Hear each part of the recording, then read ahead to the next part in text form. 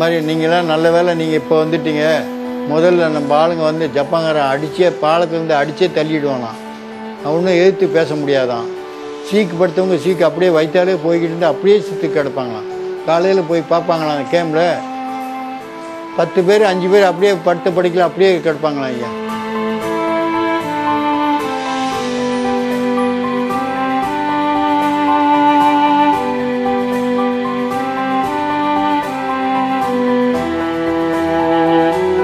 வாந்தி வரும் பேதி வரும். சரி முடியுது கண்ணெல்லாம் உள்ளே போயிடும்.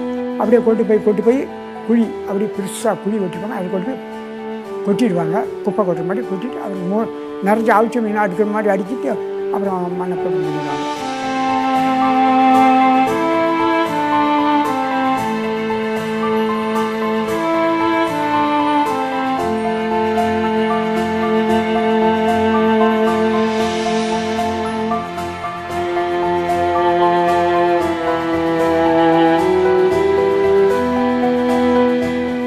Mostly are Indians uh, in my area, all, all Indian.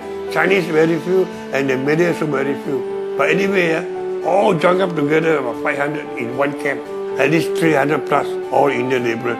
And then they have all the family also along with the grandfather, la, grandmother, la, children, la, all that. எங்கள் அப்பா வந்து என்னை பார்த்துட்டு "ஆஹ், எனக்கு இங்கே சாப்பாடு வாங்கி கொடுக்குறேன்னு சொல்லி அவன் ஜப்பாங்காரன் அங்கே ஒன்று இருக்கான் மாஸ்டர் மாஸ்டர் மாஸ்டர்னு ஜப்பாங்காரனை மாஸ்டர்னு தான் சொல்கிறேன் கேட்டு இப்படி இப்படின்னு கையை காட்டியிருக்காரு. தண்ணி குடிக்க இவரை கூப்பிட்றதா நினச்சிக்கிட்டு அவன் கொண்டுட்டு போய் த ரூமில் வச்சு அடி அடின்னு அடித்து முதுவெல்லாம் அப்படியே வீங்கி போச்சு. இன்றைக்கே எனக்கு கண்ணில் பார்த்தது மாதிரி இருக்குது